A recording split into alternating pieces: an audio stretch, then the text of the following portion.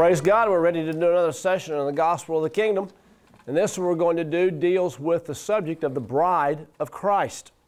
And the bride of Christ is a, is a subject that needs some clarification. I mean, for, for years I heard that the, the body and the bride of Christ were synonymous terms and that um, that they, if you were in the body, that you were automatically the bride of Christ. But what we're going to see in this session here is that the bride of Christ is the one that receives the reward of the inheritance. And that the bride of Christ will be the one that will reign on Jesus' side in the millennial kingdom. You know, before we get into this, maybe I'll introduce a little something here.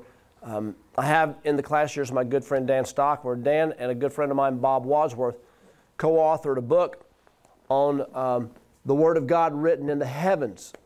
And there's uh, the two constellations in the heavens that tells the reign of the king and his bride. The king is Cepheus and the queen is Cassiopeia. And they're right next to each other in the heavens. And it's the Word of God written in the heavens and the study of God's Word written in the stars is an absolutely fantastic study in God's Word. I've got a, tape, a set of tapes I've done on it, how to read and interpret the Word of God written in the stars. And it's, this is not New Age uh, astrology, this is biblical astronomy. Yeah, Charles has got it right here. And, uh, but this is, this is portrayed in the heavens, the bride of Christ reigning with the Lord Jesus Christ, the King. And so it really, in essence, now because I talked about this last night. Jesus as being the king of heaven, right? The king from heaven. Then in reality, the bride will be the queen of heaven.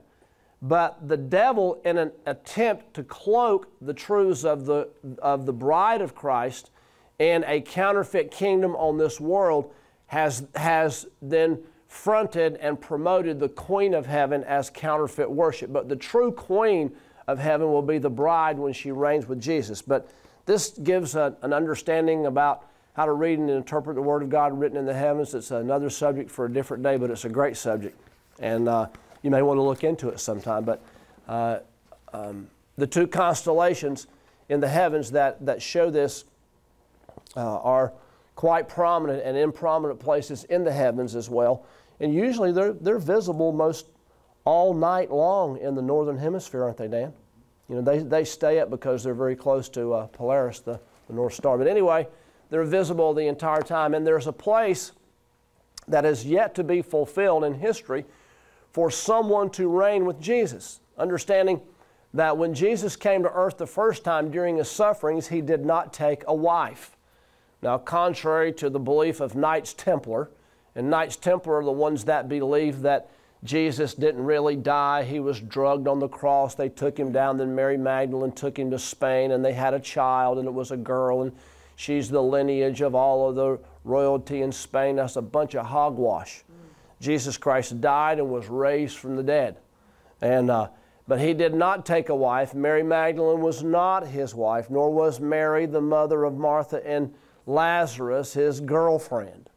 Jesus didn't take a wife because he has been promised a bride in the coming millennium, a, a, to reign with him on the earth. And that's just what this subject is all about the bride and the body. Now, I want to tell you something very simply that you can understand this whole concept. And in, and in, and in looking at this, the whole aspect of this millennial kingdom will unfold to you. Now, here's the statement. Are you ready? The bride of Christ comes out of the body of Christ the way the bride of Adam came out of the body of Adam. See, we've, we've used bride and body synonymously, and we said, well, if you're in the body, you're the bride. No, not necessarily. I said the bride of Christ comes out of the body of Christ the way the bride of Adam came out of the body of Adam. Now, to show you this, I want to take you to the Word of God and show you the correspondence between verses of Scripture in the book of Ephesians and verses of Scripture in the book of Genesis. But before I go there, I want to show you this. Ephesians chapter 5 gives probably the best teaching on the relationship between husband and wife that is in the New Testament. Granted? Amen? Okay, it, it does. Anyway, um, in this Ephesians chapter 5, you see verse 31, it says, For this cause shall a man leave his father and mother and shall be joined to his wife, and they two shall be one flesh. And this talks, this is a direct quotation out of Genesis chapter 2, which we're going to look at in just a moment. But before we do, let me show you something in Ephesians chapter 5, verse 30, that is absolutely magnificent. You don't see it in the King James and in the English, but I'm going to show it to you in the Greek. Here it says, For we are members of his body. Now, if we're members of his body, uh, then it says, out of his flesh and out of his bones. Now, this is an interesting use of words because flesh and bone is what Jesus was in his glorified body, not flesh and blood. Because remember, he said to Thomas, Reach hither and put your finger into my hand and into my side, uh, for I am not a spirit, for a spirit hath not flesh and bone. See, Jesus didn't have any blood. What gave him life was the Spirit. So this is a clue to us that this that whatever he's talking about here reveals and deals with his glorified body. And that will be given to those individuals who reign with him. But I want to show you something that you can only see in the Greek text. This word of right here, for we are members of his body. This is in the genitive case, if you care, but these over here, they're actual prepositions for these words here, these of, and they are the Greek word ek. I'll show this to you in the Greek text here. So here's the word right here, ek. See, and here it is again, ek, ek. So this is out of his, his flesh and out uh, out of his flesh and out of his bone, wherever that is, his bones. I guess is how it is. Anyway, this word ek means coming out from. And if you'll notice in the earlier part of this verse, it says we're members of his body. There's no ek up there because it's just we're members of his body. But when it says of his flesh and of his bones, it says coming out of his flesh, ek, and out of his bones, ek. Out from among his flesh and out from among his bones. And this is an absolute, categorical assertion without a shadow of a doubt that this is referencing the same concept as Eve coming out of Adam. Because where did she come out from? God opened up his flesh and took out of his bone and made woman. And the bride of Christ will come out of the body of Christ the way the bride of Adam came out of the body of Adam. Look at this. Amazing. Amazing. So I want to take you in here and uh, put these verses up next to them, to each other, so you can see the correspondence. Just give me a minute to do my jump through my hoops here, and I'll get this set up for you so you can see these verses. This computer, a nice toy to have. Praise God. Now, let's go to Genesis chapter 2. And it says, And the Lord God caused a deep sleep to fall upon Adam, and he slept, and he took one of his ribs. And the rib which the Lord God had taken from man made he woman, and he brought her unto man. Now, you see, when it says here, and the Lord caused a deep sleep to fall upon Adam, this is a profile of Jesus dying and being gone for 2,000 years and being asleep and being out of the picture when the bride is chosen. Understand? Adam, Adam was asleep. Jesus is in the heavens, and his body, however, like Adam's body was out and, and not cognizant or not conscious, but then out of it is when God made Eve. This is a profile to show that the bride will be chosen while Jesus is asleep or off the earth. Understand? So then it says, and he slept, and he took one of the ribs. I don't. Uh,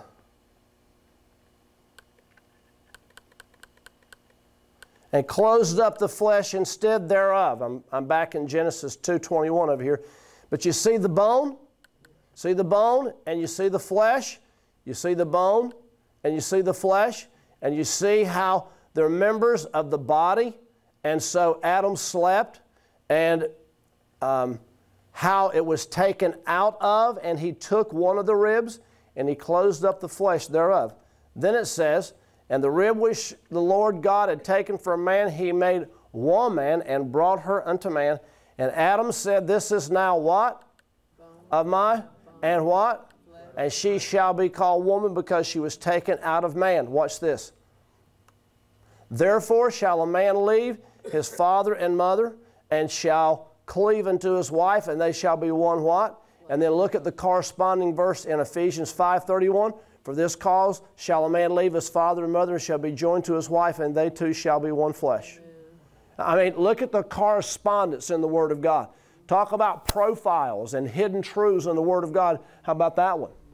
So, unequivocally, I don't, I don't really care to argue the point with anybody else if they want, as, as the Apostle Paul said, I'll exercise the same right. If any man wants to be ignorant, let him be ignorant.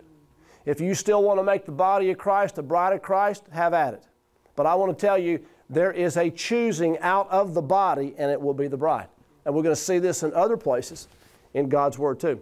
And, and it's shown in other places. For example, when um, Abraham sent Eliezer, his servant, to find a wife for his son Isaac. Now, this is a figure that Abraham is the father, Eliezer is the Holy Spirit, and Isaac is the son, Jesus. Understand? So the father sends the Holy Spirit to find a bride for the son.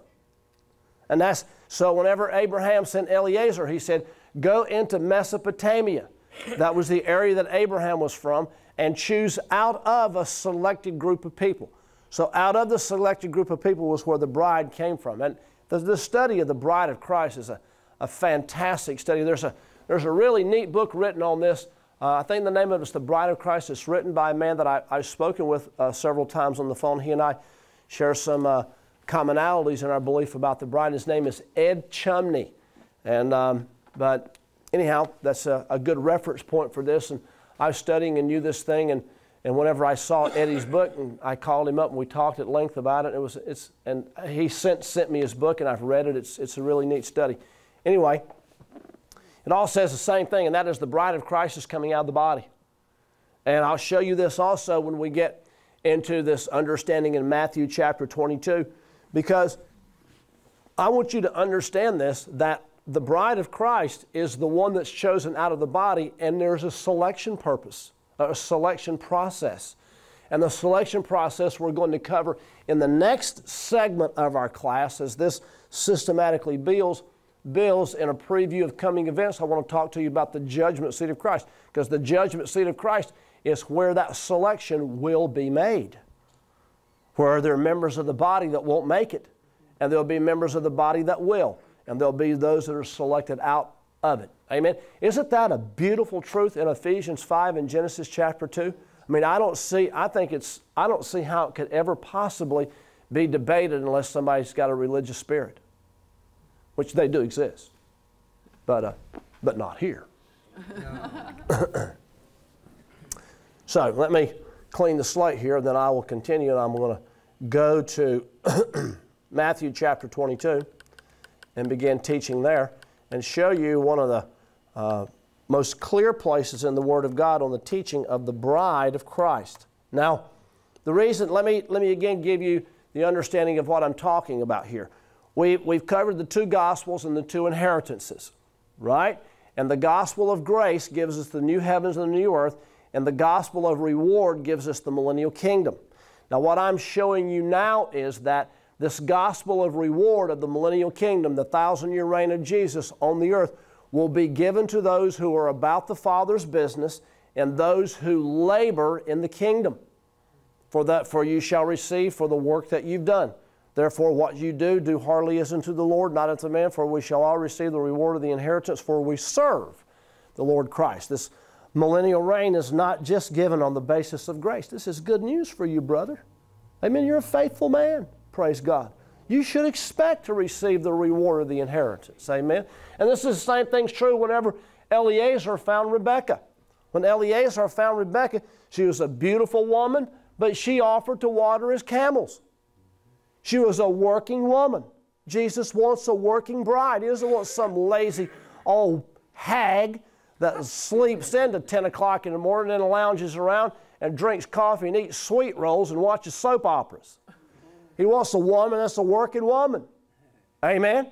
And then when we get through to the end of this, I'm going to show you this because the bride of Christ wears combat boots.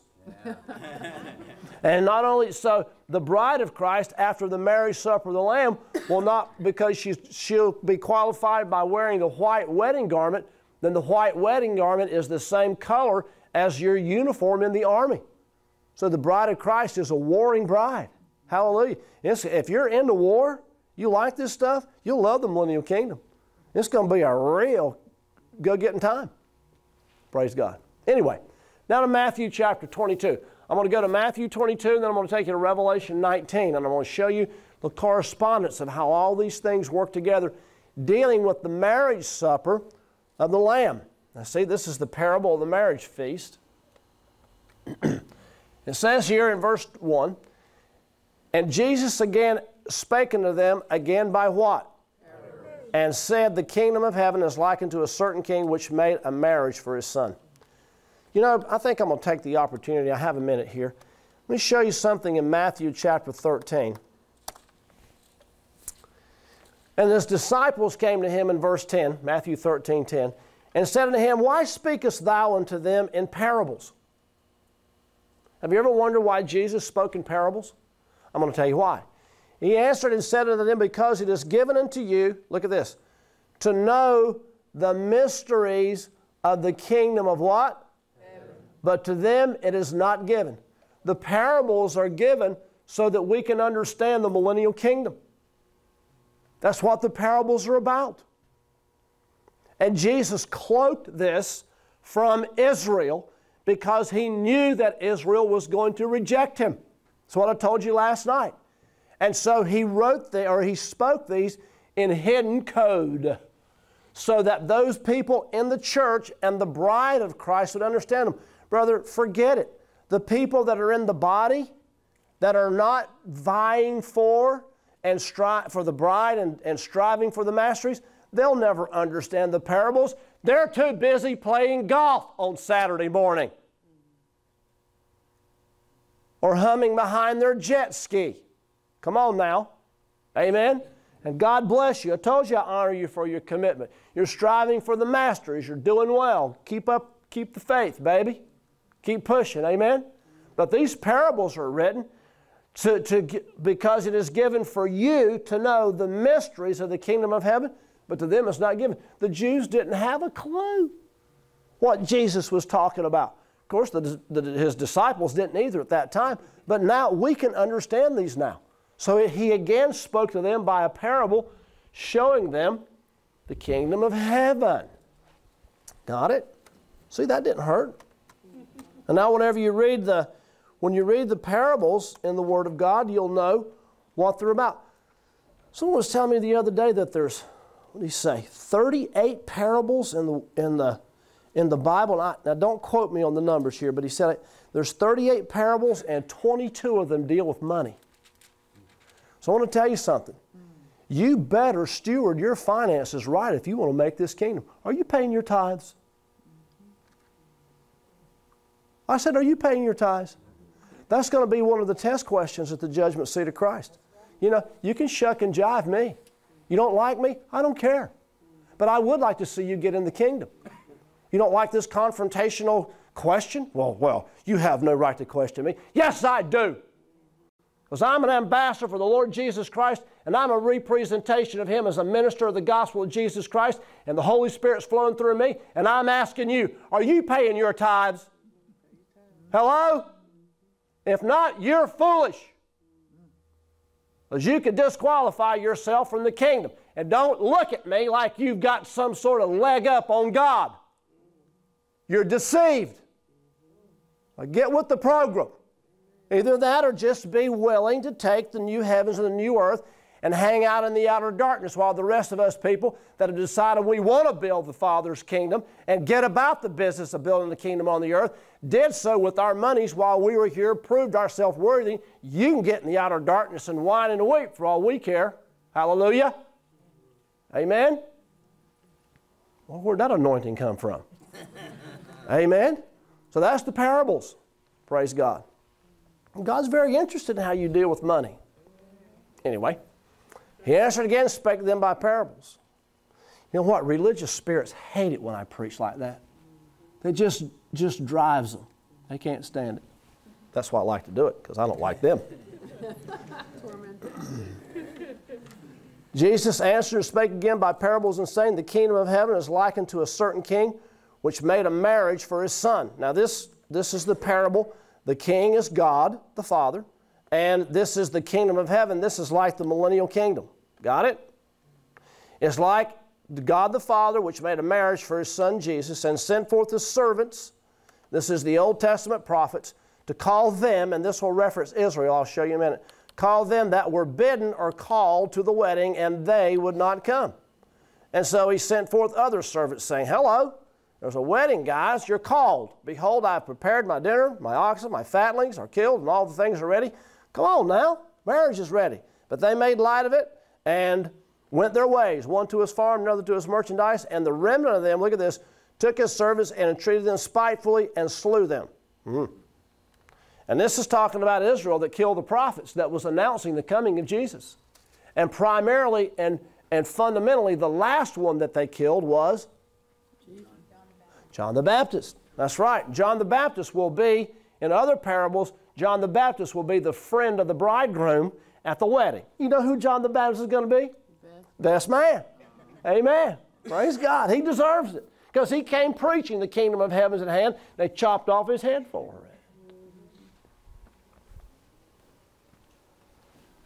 Took the remnant of the servants and treated them spitefully and slew them. But when the king heard thereof, he was angry and sent forth his armies and destroyed those murderers and burned their cities. And this has absolutely been fulfilled because in 70 AD, the armies of the Roman Empire under the head of General Titus was sent into Rome and burned it to the ground. I mean, sent, sent into Jerusalem and burned it to the ground and leveled it and sent all of Israel scattered into the nations of the world as punishment for what they did to Jesus and rejecting the Messiah.